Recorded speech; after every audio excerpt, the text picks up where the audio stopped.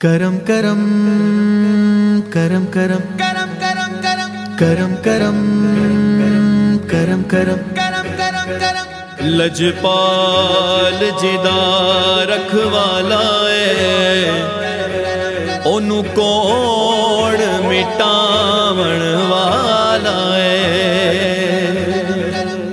ਸਾਡੀ ਉਸ ਸੋਹਣੇ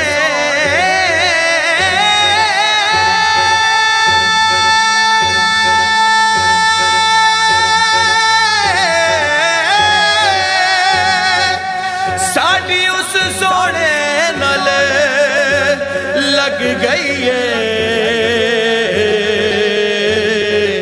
ਜਿਹੜਾ ਤੋੜ ਨਿਭਾਵਣ ਵਾਲਾ ਏ।